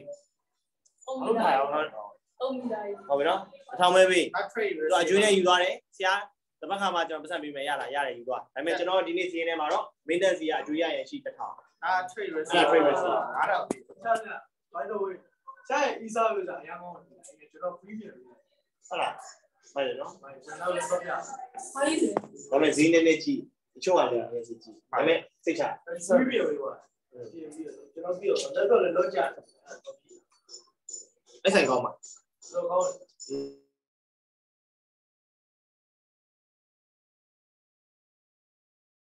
current liability current liability ကကြတော့ဒီလက်တလောတစ်နေ့အတွင်းမှာပေးရမယ်အကျွေးတွေ trade payable ပါတယ် taxation တွေပါတယ် taxation ဆိုတာ government ကိုပေးရမယ်အကျွေး trade payable ဆိုတာကျွန်တော်တို့ကသူများစီကအကျွေးနဲ့ပစ္စည်းတွေဝယ်ထားလို့ပေးရမယ်အကျွေးတွေဖြစ်တယ်ဒီအောက်မှာ net current asset ဆိုတာလေးတွေ့လိမ့်မယ်အဲ့ net current asset ဆိုတာဘာကြီးလဲဆိုတော့ current asset တွေက current liability ကိုနှုတ်ရင် net current asset လို့ခေါ်တယ်ဒီချာမှတ်တာနော် current asset တွေက current liability ကိုနှုတ်ရင် net current asset လို့ခေါ်တယ်ဘေးနားမှာရေးထား another one current asset minus current liability အဲ့ဒါဆိုရင် net current asset ဒီ net current ရဲ့ asset မှာတခါလေးရေးထား CA minus CL အဲ့ဒါဒီအဲ့ဒါဒီဘာနဲ့တွားတူလဲဆိုတော့ working capital နဲ့တွားတူတယ်ဟုတ်ပြီနော်အဲ့တော့ကျွန်တော်တို့ working capital သင်ဘူးလားတင်မှုပါတယ်တင်မှု working capital တင်မှုတင်မှုပါတယ် working capital သင်ဘူးလေဒီကဲ working သင်ဘူးလေသင်ဘူးလားဒီကောင်မတော့တောင်းလို့ပြောဒီကောင်မှာကြားဘူးလေ working capital ကိုပြော working တော့ တယ်အဲ့ working တော့တယ်ရရှောင်းနေတော့ capital လုံးလုံးလေးလုံးလုံးနေတော့ capital human asset ကိုပဲပြောမှာမဟုတ်ဟမ် human capital human ခုမှ human human working capital ဘူး human asset မဟုတ် W O R K I N G လုံးလုံးနေတော့ machinery တွေရင်းနှီးဒီလိုဆိုတာ freeze မဖြစ်နေပဲဆက်သွား machinery တွေပါဟာ freeze မဖြစ်နေပဲဆက်ပြီးတော့ freeze ဖြစ်နေပဲနဲ့ဆက်သွားနေတဲ့ ဟာ ဒီဆက်သွား capital ရင်းနှီး capital တွေအဲ့တော့အဲ့ဒီမှာအဓိကအပြင်ကျွန်တော်တို့ကလုပ်ငန်းမှာနေ့စဉ်နဲ့အမျှ day to day expense တွေရှိတယ် operation လုပ်ရမယ့်ပတ်စံတွေရှိတယ်လိုအပ်နေတဲ့ငွေကြေးတွေရှိတယ်ဒီ business ကြီးကို run ဖို့အတွက်နေ့စဉ်နဲ့အမျှ run ဖို့အတွက်လက်ထဲမှာငွေကြေးတုံတော့မရှိပဲ run လို့မရဘူးကျွန်တော်တို့ကလည်းကျွန်တော်တို့ဘယ်တော့ပဲ asset တွေရှိတယ်ပြောပြောဥပမာအဖြစ်ဒီเจ้าကိုကြည့်မယ်เจ้าတစ်เจ้าထောင်တယ်ဒီအစာအုပ်ကြီးဝယ်ထားတယ်ခုံတွေဝယ်ထားတယ် white board တွေဝယ်ထားတယ် aircon တွေဝယ်ထားတယ်ဟုတ်ပြီနော် ဆရာဆရာမငါ့ဘုပတ်စံမရှိတော့ဘူးအဲ့ဒါကြောင့်ဖွင့်လို့ရတယ်လက်ပတ်လို့ရလားမရဘူးပညာသာနာကိုစလိုင်းတို့ကိုငါဖို့ပတ်စံရှိသေးလားမရှိတော့ဘူးလုပ်ငန်းလည်းပတ်လို့ရလားရအဲ့လုပ်ငန်းလည်းပတ်ဖို့အတွက် daily expenses စီ operation expenses စီကိုကိုကပြန်ပြီးတော့ပြီးနိုင်ရမယ်ပြီးနိုင်ရမယ်သုံးနိုင်ရမယ်အဲ့အတွက်သုံးဖို့အတွက် capital တစ်ခုရှိနေရမယ် percent amount တစ်ခုရှိနေရအဲ့ဒီ amount တစ်ခုကိုကျွန်တော်တို့က working capital လို့ခေါ်တယ် အဲ့ဒီ working capital ဒီလောလောဆယ်မှာလက်ထဲမှာငွေဘယ်လောက်ရှိလဲအကျွေးဘယ်လောက်ချက်ချင်းပေးရရှိရတစ်နေ့အတွင်းမှာပေးရရှိတဲ့ငွေတွေကိုဖယ်ထုတ်လက်ထဲမှာသိန်းတစ်ထောင်လက်ထဲမှာကျန်နေတယ်ဒီကြောင်းကြီးပိုင်းဝယ်ပြီးသွားပြီအကုန်လုံးပြင်ဆင်ပြီးသွားတော့လက်ထဲမှာသိန်းတစ်ထောင်ကျန်တယ်သိန်းတစ်ထောင်ကျန်ရင်လောလောဆယ်လက်သလုံးမှာပြန်ပေးရမယ့်အကျွေးတွေရှိနေတယ်ပြန်ပေးရမယ့်အကျွေးသိန်း300လောက်ရှိတယ်ဆိုရင်နှုတ်လိုက်တစ်ထောင်လေးက300နှုတ်တော့ကျွန်တော်လက်ပတ်ဖို့ငွေဘယ်လောက်ရှိ operation မှာသုံးလို့ရမယ့်ခွေ900ရှိတယ် အဲ့ဒါကို working capital လို့ခေါ်တာနားမလားအဲ့ဒါဆရာပြော can relate can relate ဒီမှာဟုတ်လားဆရာပြော can relate ဟိုတော့ SPC တော့အစားမသိဘူးလားဘယ်လိုတော့ပတ်စံအကုန်ရှိတယ်ဒါပေမဲ့အဲ့ဒါကိုဘယ်လိုတော့ PC ပုံကွယ်တဲ့ဘယ်လိုတော့ပြန်ပြီးတော့ composition ရှင်းပြရှင်းပြရမှာရှိမယ်ဟုတ်တယ်ဟောပြီးတော့ခိုင်ကြီးကြီးနေပါအဲ့ဒါလေးရှိတော့ဘယ်အဆင်ပြေတော့နည်းနည်းထည့်ထည့်ပြီးတော့ yes ဟုတ်တယ်အဲ့ဒါကို working capital ထည့်လိုက်တာအဲ့ဒါဒီ net current asset သို့မဟုတ် working capital အဲ့လိုခေါ်တယ်ပြော net current asset အာ net current asset ဆမှာလို့ net worth ဟုတ်ဟုတ်ဟုတ် net net worth မတူဘူးဟုတ်ပြီနော် net worth က net worth ဆိုတာဘာလဲဆိုတော့ကျွန်တော်ပြပြပြတယ်အဲ့တော့ net current asset တွေကစက်ကြည့် non current liability ကိုထပ်ပြီးတော့နှုတ်တယ်ပြောရမယ်ဆိုရင်ဘယ်ထဲကဘယ်လိုနှုတ်မှာလဲဆိုတော့ကျွန်တော်တို့က total asset ထဲမှာနှစ်မျိုးရှိတယ် non current asset နဲ့ current asset total liability မှာလည်းနှစ်မျိုးရှိတယ် non current liability နဲ့ current liability total asset တွေက total liability နှုတ်ရင်ပါရတယ် net total asset တွေက total liability ကိုနှုတ်ရင် net current net asset ရအော်ဟုတ်ပြီနော် net asset ရအဲ့တော့ခုနကကျွန်တော် net current asset အတွက်တုန်းက current နှစ်ခုနှုတ်ပြီးသားမဟုတ်ဘူးလားအဲ့ရ ထွက်လာတဲ့ပိုတဲ့ amount တွေကို net current asset လို့ခေါ်ခဲ့တာအဲ့ net current asset ရဲ့ပုံမှာကျန်ခဲ့တဲ့ non current asset ရဲ့ပါအောက်က non current liability ကိုတော့ net asset ရအဲ့ဒါချက်ရေးကျွန်တော်ရေးပြပါရမယ်ဗျာကျောင်းဆောပါကျွ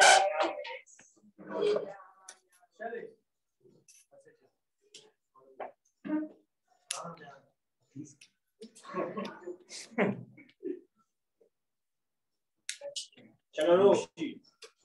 မကြည့်နော်ပြပြီနော်ကြိုက်ကြိုက်ကြိုက်ကြောက်ရောကြည့်တော့ဆက်ကြောက်ရောကြောက် liability တစ်ခုရှိတယ် total asset ရဲ့ total liability နှုတ်ရင်ဘာရလဲအာ total and and equity the answer. Net The asset. answer. Net asset. Net asset. net asset ရဟုတ်နော်ဒီတန်းကဒါကိုနှုတ်ပြမှာ net asset ရ total asset မှာနှမျိုးရှိတယ် non current asset နဲ့ current asset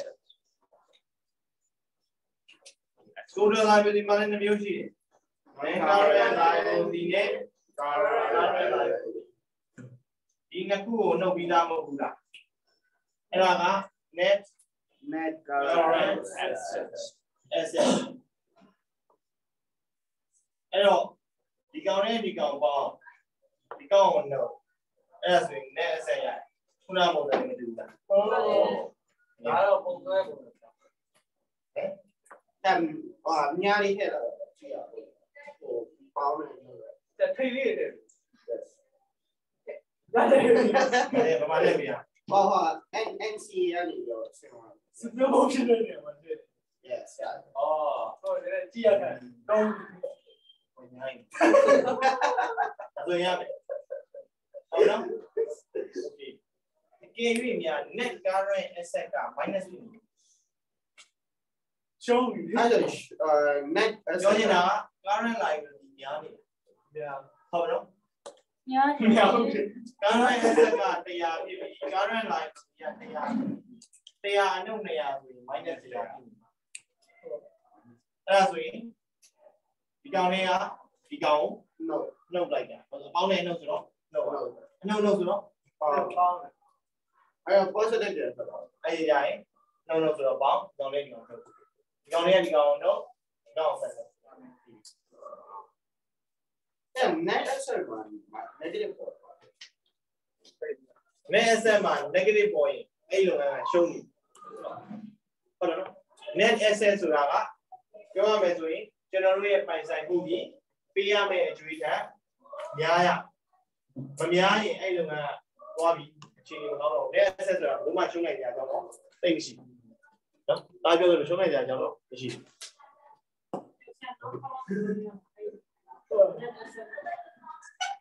သူရဲ့ asset ဆက်ကောင်းလေးတော့ total asset မှာ main current asset နဲ့ current asset ပေါင်းရင် total asset ရ main current liability နဲ့ current liability ပေါင်းရင်လည်း total liability ရ total asset နဲ့ total liability နှုတ်ရင် net asset အဲ့ဒါဆိုရင် total asset မှာနှစ်မျိုးရှိ total liability မှာလည်းနှစ်မျိုးရှိအဲ့ဒီမျိုးရှိတဲ့နေရာမှာ current asset နဲ့ current liability ကိုကျွန်တော်အရင်ရှင်းလိုက်ရှင်းလိုက်တော့ဆိုကြပါစို့ current asset က200ဒီကောင်က100လို့ဆိုကြပါဟုတ်ပြီနော်အဲ့ဒါဆိုဘယ်လောက်ကျန်100 ဘာကျန်တာလဲ asset ကျန်တာလား liability ကျန်တာဘယ်ပူကြီးနေရလဲ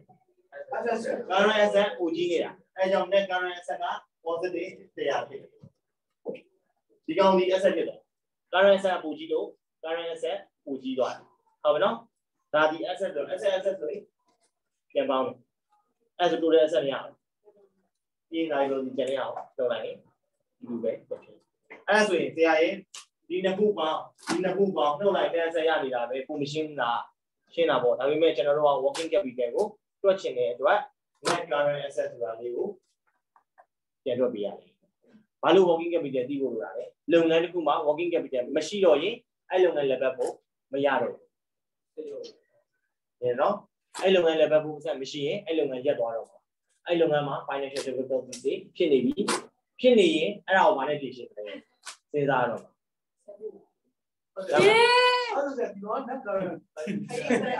ဒီကောင်ကပြောရ net current asset ရပါဘူး။ဟုတ်ပါဘူးရွေးရ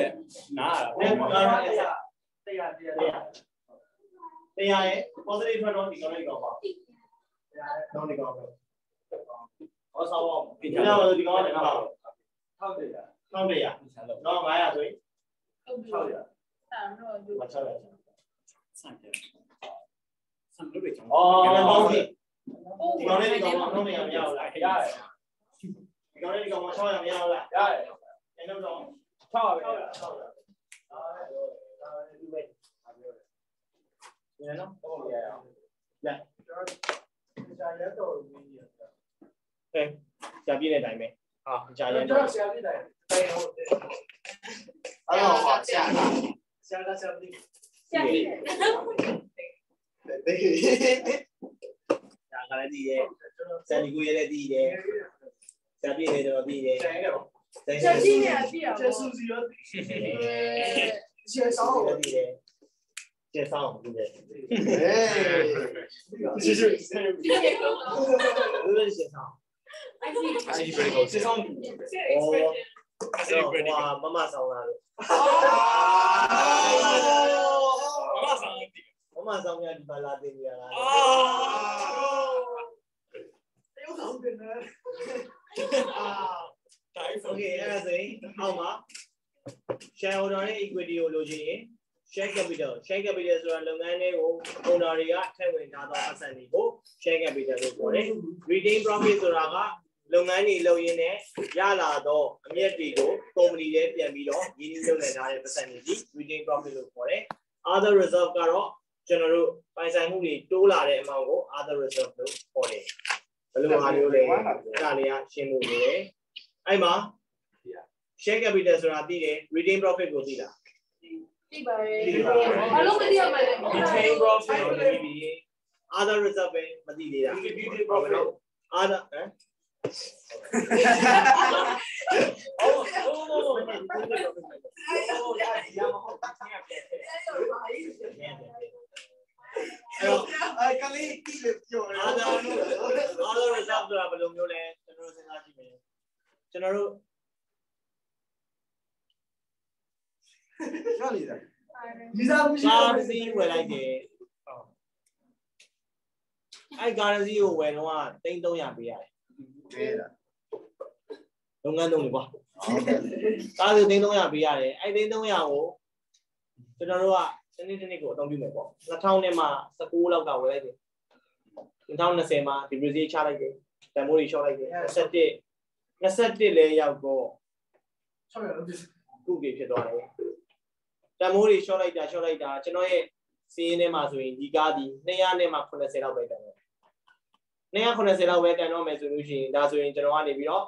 တန်မိုးတွေဆက် short မယ်ဆိုတော့သူ့အောင်ဆက်ရောတော့မှာပေါ့โอเคအဲ့ချိန်မှာကားစီးတွေပြန်ပြီးတော့ တက်တယ်အဲ့ကားရဲ့ why ဆိုတော့ဟိုဝါလို့ပြောဩဘဘကိုတော့ why ဆိုရင်ဘဘတော့မေးလို့ပြောတာနော်ဘဘဘာမှကြည့်အဲ့တော့ကားစီးတွေတက်သွားတယ်3600ဖြစ်သွားကျွန်တော်တို့လုပ်ငန်းထဲမှာဒီကားရဲ့တန်ဖိုးဒီ280လောက်ပဲကျန်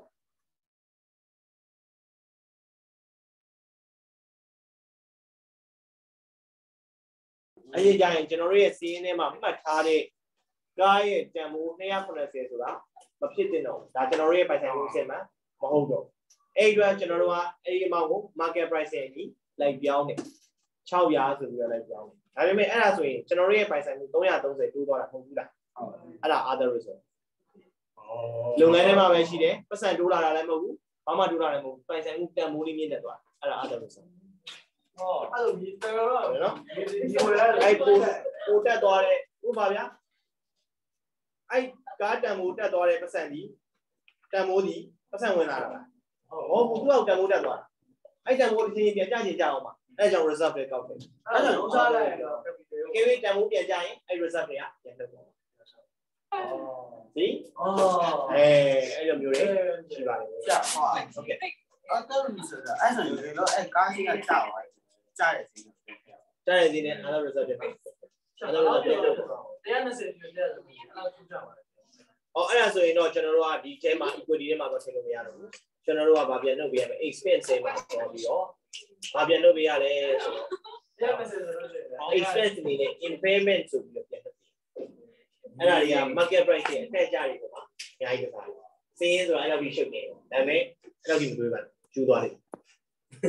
စင်းရဆက်အားရှုပ်ရှုပ်တယ်အေးရစင်းရလေးလိုက်တော့အဲကောင်းတိုင်းရလို့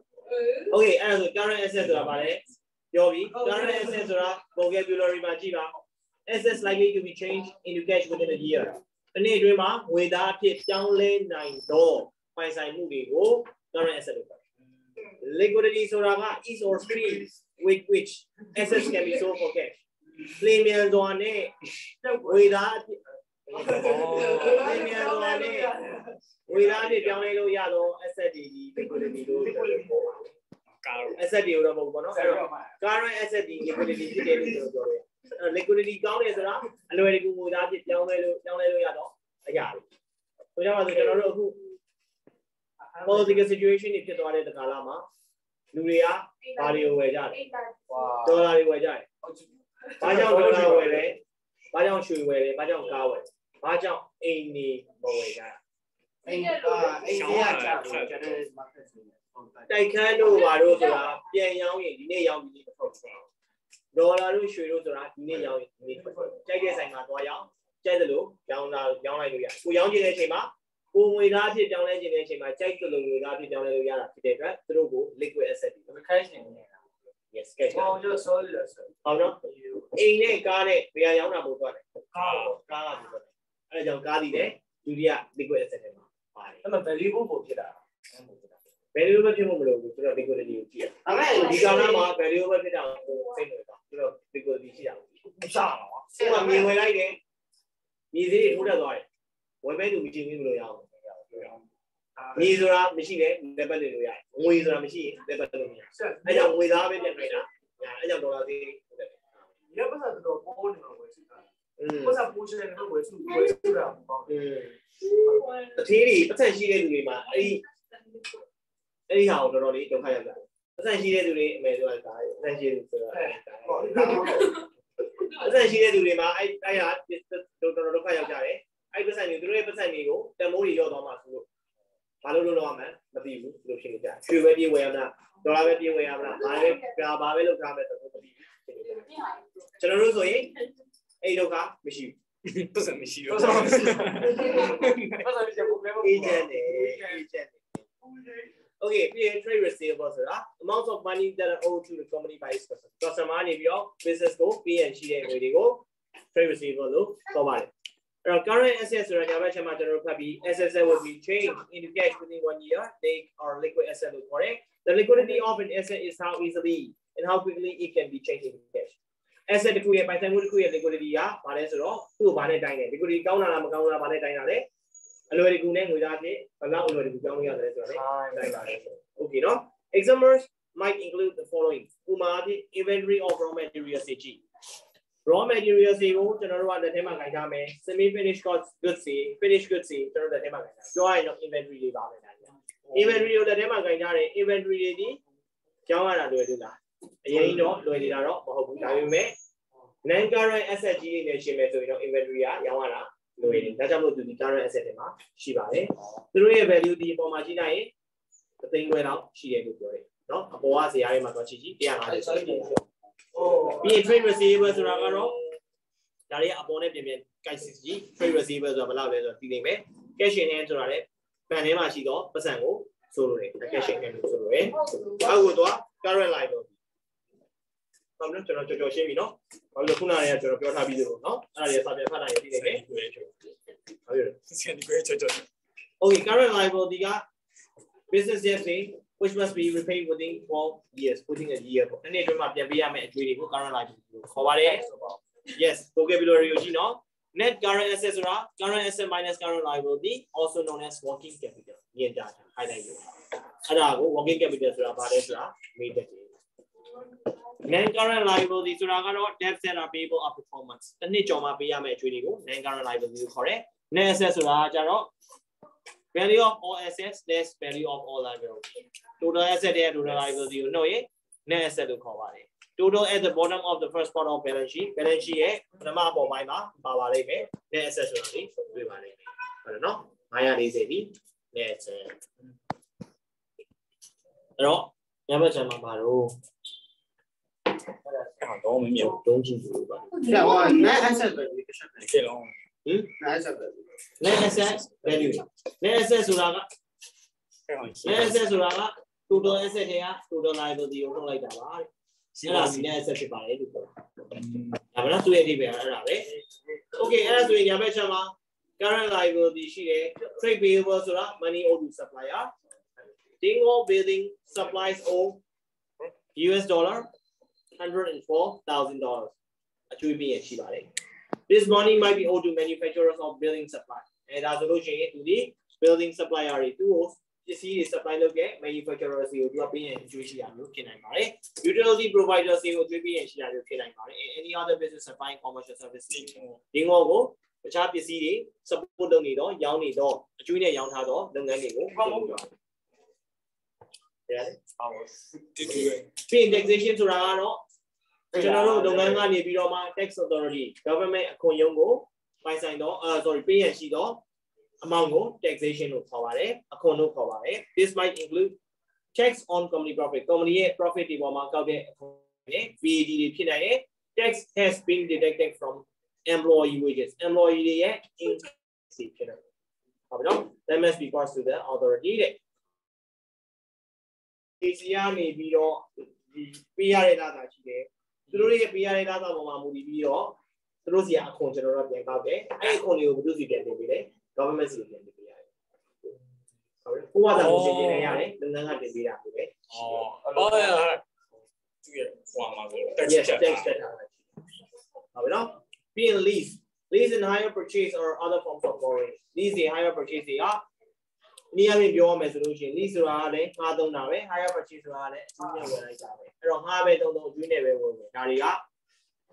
ပတ်စံပေးရတယ်ဘာ borrowing လုပ်လိုက်တာပါပဲပတ်စံချီထားတဲ့ပုံစံမျိုးပါပဲ short term loans တွေကကျတော့ in overdraft or money owes the banks to pay for within corporates ဒီနေ့အတွင်းမှာဘဏ်ကိုပြန်ပေးရမယ်အကျိုးတွေဖြစ်ပါတယ်ရမယ်နော် okay အဲ့ဒါဆိုရင်နောက်ပြပါကြာရကြာရ မ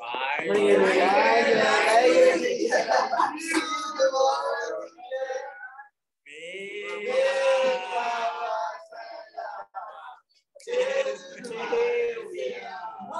ကြိုက်ပြီလေကြိုက်ပြီကြိုက်ပြီ